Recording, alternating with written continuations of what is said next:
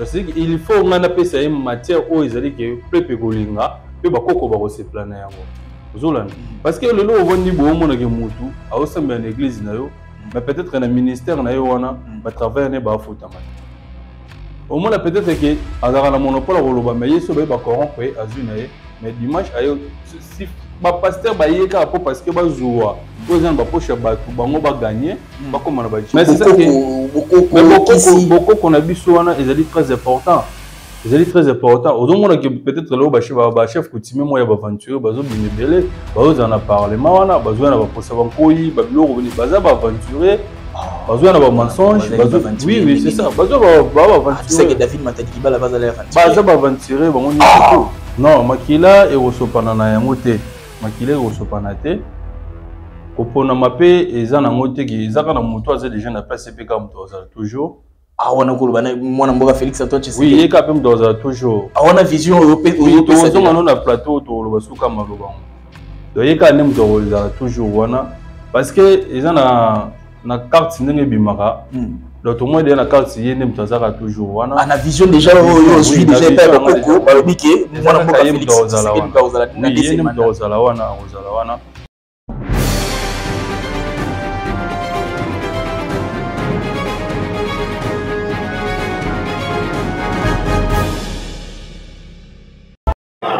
balandi ya congo live television ndenge tolobaka ete eh, bisika nyonso bokoyamba biso na mabota na misala na bapartout bozali bokozwa biso ase net moment ezali question ya kotala république démocratique du congo mboka na biso etikela biso bankoko Kita etikela biso bakulutu ba oyo lelo oyo biso tokoherite e mboka monene boye bakoko batravaya baancetre batravaya mais estceque mboka oyo ezali toujours garde na linie oyo bakoko balingaki oyo valeur to pouvoir ancestral ezalaki imposé na kati ya république euh, démocratique du congo est ce que si tobungisi pouvoir ancestral est ce que si tobungisi bavaleur ancestrale mpo na république démocratique du congo e vision ya koya bakoko mpo na mboka na biso ezali nini bongo tokotala mpe mwa bakestion oyo ezali liye mpe na spiritualité oyo bino bokolukaka mingi bokoyeba eh, etali makambo etali nkodia etali nini ba héritage ancestral Tokoluka mpe koyeba yango na emission na biso ya lelo. Yango ndenge tolobaka awa, ntango tokoluka koyeba malamu mpo na mboka oyo, esengeli tozwa mpe moto oyo esengeli mpo ke alobela biso bosolo na kati ya mboka oyo, Republique Democratique du Congo. Tozali bongo na mwana mboka. Ngai nakotika ye a se presenter, ebongo tokozonga mpo ke tokota na kati ya emission na biso. Mwana mboka, mbote na yo. Oui, mbote ndeko na ngai. ou alors oko se présenter na population congolaise mobimba oyo bazali kolanda biso à ce net moment bayeba yo et bayeba que pouvoir ancestral ekoexiste to ekoexiste te mwana mboka kamera na yo yango wana oui nabengami na nkombo ya maître hassan chibanda nali maître spirituel oyo etali ancestral donc etali bokoko na biso euh, nazali guérisseur ya toute belle forme ya maladi oyo abengi spirituel donc na traitaka yango bagala nango yango wana voilà alors mwana mboka nabanzi ete tokokabola émission oyo na deux parties partie ya liboso tokoluka toyeba bavaleur ancestrale tokoluka toyeba vision ya bakoko mpo na république démocratique du congo surtout ke tokokóma penepene ya maponami vision na yo ezali nini ligne nini yo yo olingi opesa mpo na mboka na biso république démocratique du congo ebongo deuxième partie ya émission na biso tokoluka mpe toyeba bamaladi oyo ederangeaka population ebongo population mpe azwa libaku basusu oyo bazali kotungisama na maladi ya ndenge na ndenge bazwa moyen ya kocontacte yo pour ke bazwa baguérison na baproblème na bango mais ntango tokofungola mwana mboka émission oyo na oyo etali valeur ancestrale mwana mboka est na république démocratique du congo valeur ancestrale ezali kaka to biso bana mboka tobungisi isi valeur ancestrale oui valeur ancestrale na congo eza lisusu te tobungisi yango mpe toperdre yango c'est ça ke yango omoni ke makambo oyo nyonso tu meme bandeko bovandaka na bango a bosololaka na bango makambo hmm. ntango bazali nano na se bazalaka na baide ya malamu hmm. ntango bakomaka na kati kuna baide wana elongwaka bango na motu bayi politike oui hmm. parce que ezali lere motu azali na baide ya malamu ndako akomi kuna baide ya mabe baide ya mabe ekoti ya malamu elongwe parce que ezali ke eza bobungi deja oyo eza deja na se na ye hmm. amiyebi ye moko te acomprendre te ke azalaki abi te ngai na kozala lokoso te na kolobela mboka na kobundela mboka hmm. mais koma kelaka akomi kuna mbala moko achange na ye parole hmm. achange maloba akomi na ye motu oyo akomi konyokola na ye sous peuple parce que bazoyeba kosimba opportunité oyo ya ancestrale na bango te parla ke lelo bareligion ba oyo ya bapaya eyeli biso yango nde ekomi kosala biso ke lelo toperdre to capacité na biso ya ancestrale mpe toperdre bapouvoir na biso oyo toza na yango na kati ya mboka oyo lelo tozomona ke baguerre ezosila te tozomona chômage ezosila te mm. tozomona toujours bato bazolela toujours kaka eh, basalaire bazofutama te ba, mm. to souffrance ezocontinue toujours mm. ke souffrance ezocontinue parce que tobungi nzela oyo biso tozalaka na yango mm. tolandi nzela ya bapaya nzela wana ya bapaya bango kuna ezosunga bango me biso ezosunga biso te mpo parceke tozosala nzela na biso te ah, mwana mboka mingi mingi ndenge tokomo totambolaka na société totambolaka awa na kati ya mboka na biso bakoyebisa biso ke bato ya ancestral ezali bato ya bazali banganga bazali bakisi alors bato oyo bakosambela nzambe bango nde bosolo place ezali mwana mboka oui c'est ça kele bolobi ke Mot ya nganga bien mutu azali mutu bakisi bien bango nde bazali nza bato ya Nzambe non bango bazali bato ya Nzambe te bango nde bazali bato oyo bazo ba bato ya Satana biso nde tozali bato ya Nzambe oh, parce que biso tozoluka tozoluka mboka ebima na pasi oyo toza na yango mais bango bazolinga kozongisa mboka na temps ya pasi parce que bango bazwa temps ya kovivre na babana na bango so tel euh, otali meme na baeglise oyo toza na yango awa mm. okolanda baeglise nyonso to omona baeglise mosusu eza na ba ong te eza na baekole te mais baza na bamillionnaire bapaster wana oh. baza na bambongo mais omonaki bakomi kose présente bamituka bakomi kose présente babien na bango mm. mais so olandi boye na kati ya eglise wana omonaki babola baza ebele na kati ya eglise wana omonaki bazoyamba bato baza na kati ya gouvernement mm. mais sikoyo bapesaka bango conseil nini mpe bateyaka bango nini parce que une fallait nga na yambi un cadre moko boye aza na kati ya mboka oyo mm. aosima entre ministère moko na yambi ye mm. donc c'est il faut nga na pesa ye matière oyo ezali ke peuple kolinga pe bakoko bakosepela na yango ozolana mm. parce que lelo ovandi boye omonake mutu aosambela na église na yo mais peut-être na ministère na ye wana batravaille ne baafutama te omona peut-être ke azalaka na monopole ya koloba mais ye so baye bacorrompre ye azwi na ye mais dimanche aye bapaster baye kaka mpo parce que bazwa mm. oyo eza na bapoche ya bato bango bagagne mm. bakóma na bajip omonaki bapaster mosusu lelo omona bandeke kaka 10 eh, 3 personnes mais la akomi kaka 20 30 mondimi moko ya kosa ata 10 ans na eglise wana ayebi mbula mona 1000 dollars te ayebi mbula mona 100 dollars te ah mais soki siko lelo oyo bato baye epa na bino donc epa na yo mpe eza deja na oui baoyo deja bazo approche nga donc c'est ce que baza deja na avantage oyo bango bayebi bazosala parce que biso tozali bato ozali bato tout droit toyali ke mpo na kopesa guérison toya mpo na kobikisa bato baza na temps ya souffrance bato baza na temps ya maladi toyani na temps ya kobikisa bango Parce que yango tozo benga mingi ba ndeko mingi ba longa basala politique ba oyo balinga ba se poster ba oyo déjà bazaka na kati mm. il faut ba trouver biso ba maître spirituel pour parce que to ba orienter bango mm. pour lelo bazala ba elika toujours na kati ya mboka ah, mais bango bakoloba mingi mingi bino boko salela ka kisi mais c'est ça que bokoko na biso wana ezali très important ezali très important ozomona ke peut-être lelo bachef coutumier moko ya baaventurier bazobima ebele bazozala na parlement wana bazoya na baposa bankoi babiloko baza baaventurier ah, bazoya na bamensonge oui oui c'est ça bazoya baaventurier ah, david matadikibala bazala aventurier baza baaventurier bango nyonso ah! tout david matadikibala c'est ça papa na ngai so otali lelo oyebi ke place oyo mai elekaka na se se se place wana akoki kotonga te place wana bato bakoki kozala te mpo parce que obuka na en même temps Mais lelo ke ba nzela ebuka na ye kuna ekomaki ke oh bakoko basiliki bakoko batomboki. Ba erosion ezo salema. Oui, wana ezali wana ezali ba place oyo esengelaki ke population ekoki kovanda nanu te pendant faut basala ba analyse ya mabele wana. Parce que soki place nde tokovanda boye soma ezoleka na se na biso ebandaka kolia. Mm. Et fait que ba charge ekomi koleka, mm. bato bakomi kotonga, balance wana ekokota ekobukana. Ah, ezali bakoka bato te. Mais ntango tokotala mpe na kati ya vision politique ya République démocratique du Congo ozali maître spirituel c'est-à-dire ozali na vision ozali kosala mosala oyo oyo bakoko bapesi yo bapesi yo pour koservir na nation congolaise mais ntango kotala lolenge tokokende na mboka o tokokende na maponami es maponami oyo ozomona yango ndenge nini okomona yango ndenge nini estce bakoko bapermettre yango to ezali mwa komplike to maponami ezali te to makila ekosopana Non, makila ekosopana na yango te. Makila ekosopana te. Koponama mpe eza na yango te, eza kaka na moto aza deja na place mpe kaka moto azala toujours. Ah, wana koloba na mwana mboka Felix Antoine Tshisekedi. Oui, ye kaka mpe moto azala toujours. Ah, wana vision oyo mpe oyo pesa. Tozonga no na plateau tokoloba suka maloba yango.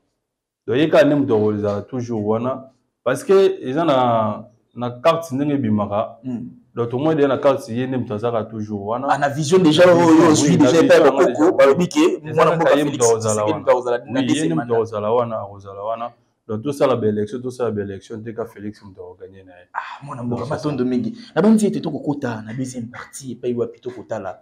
mwana mboka maladi nini oyo oyo osalaka mpo oke permettre na bacongolais bayoka mpe baoyo bazali bazali na bokono wana bakoka kozwa lisungi epai na yo oui bamaladi nyonso tout oyo ezali physique ezali spirituel nasalaka yango soki so oyebi maladi nyonso tout donc eza maladi nyonso tout moto abeli peut-être awumeli na maladi wana azwaka solution na yango te oyo ezala moto ya sikre ezalaki mm. peut-être obotaka te mm. ezala peut-être que okokaka ko Ouais, donc nzoto wana ezalaka ba mal à l'aise mm. eza peut-être ye mosusu osalaka mpe likambo moko boye likambo wana efonctionnaka te mm. peut-être lelo okomi kolukaki lelo oza entre na protection moko boye entre mm. na kati ya baposte na kati ya bamakambo ebele mm. donc ce qu'il faut contacter maître asani mm. comme ça okozwa basolution ya makambo nyonso to wana makambo oyo nyonso etali spiritualité englobe mm. yango spiritualité mm. donc ce qui na bandeko bazo lelo bavanda na parlement mm. na baoyo bazolinga te ke batika baposte na oyo babundisaka bango na baposte mm. donc ce qu'il faut bacontacter mwana moninga na bango maître arsène chibanda eyebaki mm. azwa solution makambo nyonso to bazwa solution na makambo nyonso tout parce que lelo tokotala na kati ya république démocratique du congo maître bacongolais balobi keno bino mpe bamaître bokomi ebele elelo oyo mwa libunga mpe ezali mingi bakei pa oyo ake kolela oyo aleki na tv solution eh, solution akei kuna solution ezali te assurance nini oyo maître asane akoaffirme na population congolaise bakolanda ye oui assurance ezali lelo ki maître asane azali grand maître oyo abimisi bana ebele azali na centre oyo ezali monene hmm. oyo ayambaka bato hmm. donc c'est ça que assurance oyo eza ya ngai yango eza yango wana parce que ezali na centre eza na baelève oyo ngai nabimisi mpe eza na bato oyo ngai deja nazo ko enseigner pe bato baza lelo ki na kati ya gouvernement pe baza partout mm. olio toza kosimba bango na kati ya centre na nga mm. donc c'est ça que eza kutu likambo tokoki koloba yango tembele vraiment te donc nga na bino toza ba voisin parce que centre na nga eza na ngambo wana bino boza na ngambo ah. donc c'est ça que toza esika moko donc sirance na nga oyo ezalaka wana po parce que moto asala eloko moko oyo ezali vrai na miso ya bato mm. akimaka mosika ya bato te azalaka liboso ya bato mm. tosiki nde bino bozwi bozwi ndako oyo botie makambo ya television awa sesike mm. yeba yango ke ezali na loko ezali eza valeur na miso ya bato ezali mpe eloko eza na assurance mm. ke peut-être ye mosusu soki lelo tokutani peut-être na ndeko olivier mm. na willery toyebwe nayebi ke so na rate na yo azwa ndeko olivier awa donc yo pas question na rate na wile na omi kobeta mutu na kozwa ye bakobenga maître asan asan maître asan numero ekoleka te maître asan bayebi place bakozwa ye te c'est ça yango omoni elongo omoni mingi bandeko ebele mingi bazobetama mabaku parce il fallait kocontacte mutu eza oza libanda ya mboka eza oza na kati ya munda ya mboka efekele kocontacte mutu fo sanseke mutu wana mpe azala na capacité capacité ya responsable mm. oke ya kosala e il fallait moto ozoluka eloko pa ya moto afo kutake moto yango oyo eloko yo ozoluka pa ya moto wana ezalaka deja voilà maître question moko ezali très très capitale oyo to peut-être okoluka koyeba lelo oyo es maître yebisa biso yebisa population congolaise es il faut tozonga na bokoko na culture na christianisme oyo lelo oyo ezali na kati ya mboka na biso non il faut kozonga na kati ya ancestral na biso faut tozonga na kati ya bokoko na biso nde okomona bapasi oyo mingi ekosila ah, bapasi nyonso ezali na kati ya mboka na biso ekosila solution yango ezali kaka na bokoko oui eza kaka na nzela na biso ya bokoko soki toreconnaitre bakoko na biso okomona nzela na biso nyonso ekozala kalme tokosala yango ndenge nini mwana moko kosala yango ndenge siseke nde tozopanza sango boye na baoyo bazali mayele nde bazozwa ntango ya kocontacte mpo tv eza ngonga eza moke hmm. baoyo bacontactaka biso nde bazalaka na ntango kozwa yango mpe hmm. loso otai mingi badiaspora na biso hmm. omona bakomi ba évolution donc omoni ke bato bakomi koévolue eh, parce que bakomi kokima mambo ya christianisme bakomi kocomprendre ke oui bokoko na biso ezali très important mpona kosalela bokoko parce que tous les mboka nyonso omonana basalelaka bokoko na bango Ah, donc bato na bato basalaka boko oui. ata seke biso wana mboka na biso bakosa biso bamemela biso christianisme bakosa biso christianisme eza eza religion ya bapaya eza religion ya bakoko na bango batikeli bango ah, ozomona eza ya biso te eza ya biso te de tokope religion baninga yango omoni ke to ya souffrance wana ezomata makasi parce que tozo zwa eloko ya bapaya ozo salela yango est ce que ba pasteur pe bayaka pe pa na bino oui toza na ba ndeko ba pasteur oyo baya ba komaka pa na biso parce que to aider bango parce que tozo sala na bango eloko moko asaki bango nde baza na réalité te biso nde toza na réalité oh, parce que un moki motu mpo azwa réalité réalité wana fo azonga mpa na biso biso tokopesa réalité réalité nde yakomona yango okofanda wana pasteur na bino peut-être abingo fo tosala peut-être mosusu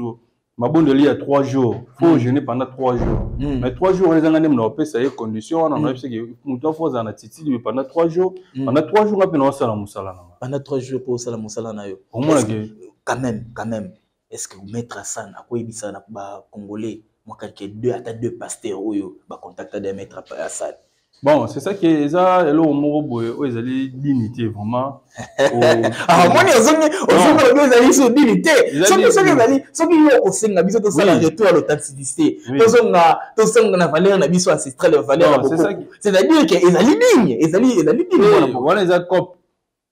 Ah! eza cope na bango bazosala na kobebisa cope na bango te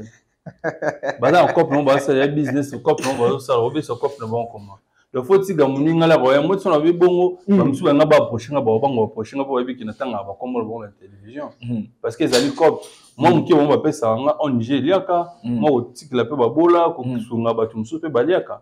bango bazo baopesa na bango te mele baoya mpa na ngai bapesi nga mm. ngai nazwi oyo bango bapesi nga nakoki kotikela bandeko mm. bazangi ya kolia bandeko mm. bazosouffrir ozomona bapasitaka na komona bango nyonso tona baza na bambongo ebele baza na mituka bashere baa na nyonso tu oyo moto azala wana mokili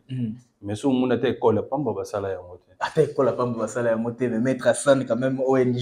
maître azoyi ede mpe eh, bandeko ebele nabanzi ete tofongoli mwa parcours oyo parce que esengeli to apprendre mwa ebele toyebi ngai nalandaki yo na coulisse namoni oko explike kodia o explike ma makambo ebele nalandaki yo namoni ke tofongola yango malembe malembe progressivement pour que to permettre ba téléspectateurs na biso parce que ebouleversaka motu ebele maître alobi ke fo tozongela bokoko pour ke mboka na biso ezwa ezonga na nzela mais bakristu baeglise de reve bayosa biso fo tocontinue kaka na, na mabondeli kotya mboka na maboko ya nzambe yo olobi na biso ezali culture euti libanda tozongela culture na biso mais tokozongela culture na biso na banzi ezali motuna ya suka tokozongela culture na biso ndenge nini aussi longtemps que na kati na bino pe ba maître lelo bokomi ebele ya lokuta bazali ya vrai bazali bino moko pe boyokani nanu ezali te mwana mboka oui omoni na makambo nyonso tu c'est ça que na makambo nyonso tu na mokili basala yango mibale mibale négatif na positif donc etambolaka mpe nzela moko place négatif ezali place positif mpe ezali mm. donc place négatif ezali place positif ezali donc etambola nzela moko donc obulaka te ke so ozosala donc ozosala likambo moko obule te ke moto ya opérateur ozala te mm. toujours ozala mm. eza mpe nano domaine na bino eza soki moko otebela te otebela ah, oyo ndenge aloba mpenza boye aza nao journaliste te non mpenza akomi te de ceci ke akomi koluka neti aprendre mais kiteti nde epesi sikoyo rapidité abima kilokoso nde tobengaka yango voilà kilokoso donc ezopousse motu kaka abima abima abima hmm. parce que pourquoi amaîtrise nano makambo azosala très bien te hmm. laka alinga abima bongo bafaute ekomi kobima ebele hmm. bongo bobenge ma moko aza ventire ayebi koloba te azali esiko donc c'est ça voilà maître hassan grand merci population congolaise oyo bazwi libaku ya kolanda yo okopesa okolance message na yo epuis okolakisa na bango mpena ke maître alsan azali vrai maître parce que bafo bazali ebele epuis okopesa na numero ya telefone na yo kamera yango wana oui maître alsan azali vrai maître maître alsan azali guérisseur maître alsan ozali na problème nyonso tu etali spirituel o koto ya amour koto ya mabota koto ya maladi koto ya financière koto ya makambo nyonso tu etali koto ya protection koto ya succès